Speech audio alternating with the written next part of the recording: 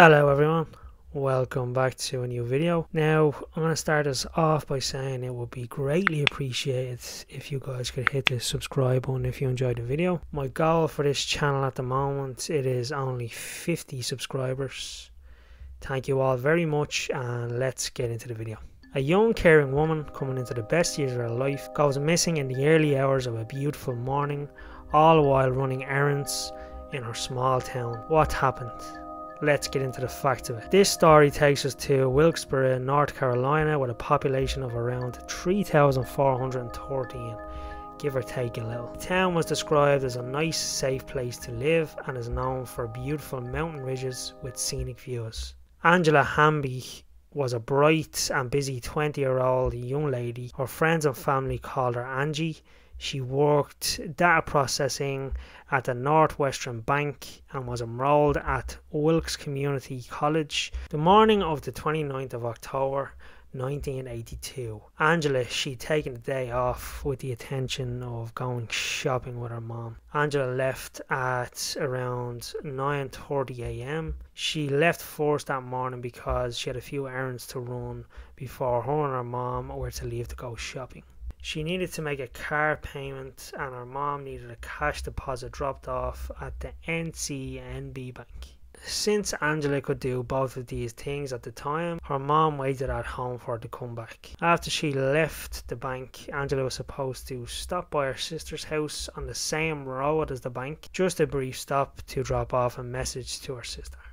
By noon, when Angela hadn't returned, her mother called the bank the bank let her know that Angela had never been there, so she then contacted Angela's sister, who had also not seen Angela yet. The fact when Angela had left to run those errands that morning, it would be the last time anyone had seen her. She was last seen at 11:30 a.m. on October the 22nd 1982. He was last seen by three witnesses who we will come back to. At around 1am in the morning of the 30th, which was the next day after Angela had went missing, Angela's silver 1980 Mazda RX-T was found unlocked and abandoned tucked up behind Glen Tastee Freeze, which is a diner that is a two minute drive from the bank. The car was behind the building and parked very close to the dumpsters.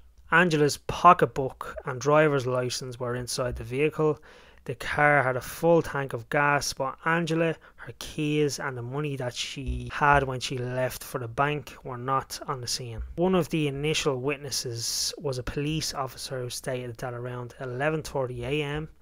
Angela was seen driving her car near the location that it was found. A woman that worked at the Tastee Freeze as a cook, she also gave a description of seeing Angela in the car and she was not alone. The witness stated she was with a man with blonde hair that was rough looking. The witness states they seemed to be talking to each other. As the day began to grow with no answers, Angela's family and loved ones stated they said they don't believe she would have willingly walked away. Another eyewitness report also stated on the day Angela vanished, a woman claimed to see her in a clothing store acting extremely nervous, like she was trying to hide and not be seen. But like most things, this tip didn't turn out and it is undetermined if it was actually Angela that she saw. Then the family received a call stating that Angela was in a house in Cherryville and gave an address which was an hour away from Wilkesboro.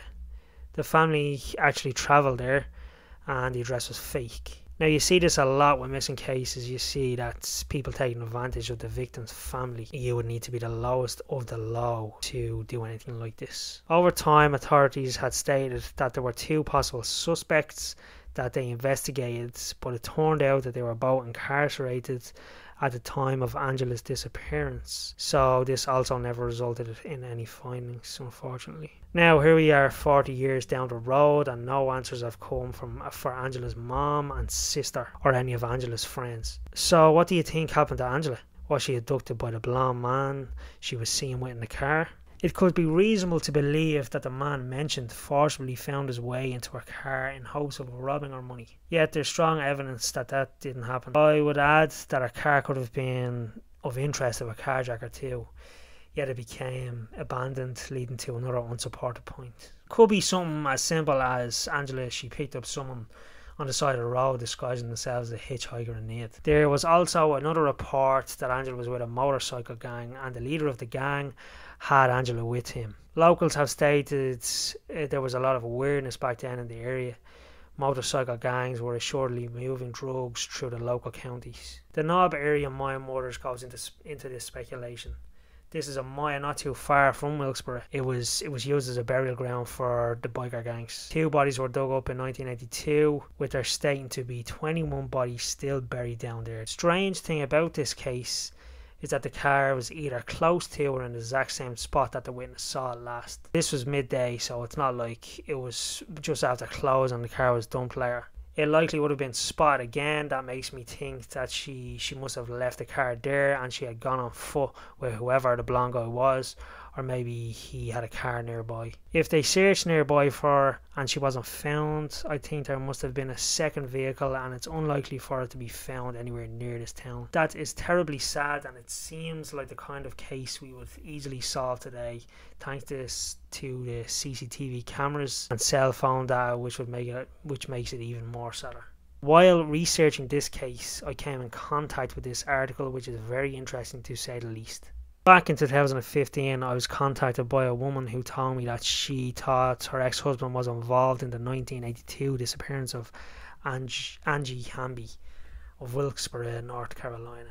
She said uh, that when they had separated, he left a lot of items behind in their house and that she thought suspicious. She sent me the items in the mail. As I looked through the items, I found this 35mm side of an unknown female bound chair and gagged. She said that she recognised the background as being his apartment back in the 1970s. The woman in the photo obviously is not Angie, and there are no missing women who resemble this woman but this photo was obviously either evidence of a crime against an unknown victim or something created with her cooperation for his own amusement. I just hope for our loved ones that the answers someday come and you will be 59 years old today. Thank you all again for watching the video. Truly appreciate it. Have a great day and I will see you next time.